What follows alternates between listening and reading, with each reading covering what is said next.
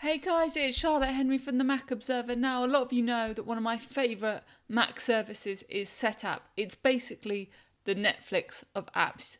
For one monthly price, you get access to a load of premium uh, tools and services, and it's great. I love it. One of my big criticisms, and one lots of other people have made actually, we've all been desperate to be able to use it on our iPhones. Well, now it's possible with Setapp for iOS. So, first, you need to have an active membership for Setapp and have it downloaded on your Mac.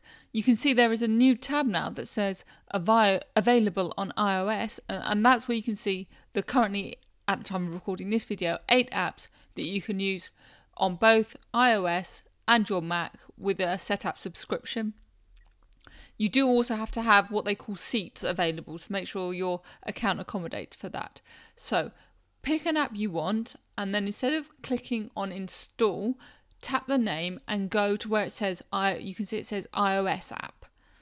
And that way that will give you the chance to start to download it.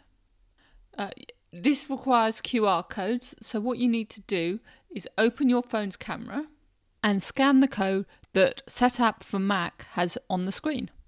Uh, and as you can see it says at the top view in app store. So if you tap that you uh, the app comes up in the App Store and you can get it.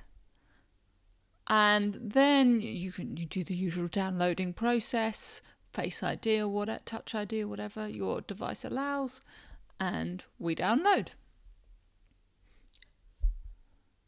Remember, the, these are normally premium apps, or at least with in-app purchases, and so far you've not paid anything. So now it's downloaded. You press open. Uh, you may have to go through some in app uh, settings and notifications process. But when you're all done, click on Done back in Setapp on your Mac, and then go to Unlock Full Version, where you're going to have to deal with another QR code. So you open up the camera again, uh, scan that second QR code. Now you can see it says at the top Open in Task Key, which is the app I've downloaded. You open it up, and that tells it you have a valid purchase and a valid account. And if you look at your account on the Setapp website, you'll be able to see that both your Mac and your iPhone are registered with it now. I hope you found that useful and you get some good use out of Setapp for iOS. Let me know in the comments below and do make sure you subscribe to our channel so that you never miss a video. See you again soon.